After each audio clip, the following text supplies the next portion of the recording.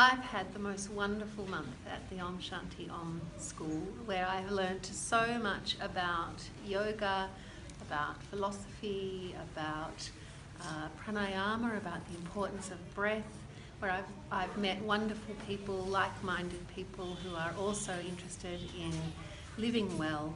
And the school is run by the most beautiful people, and I'm very grateful to them, to the people who run the school, and to the people who are in my class. Um, thank you very much for a fantastic experience.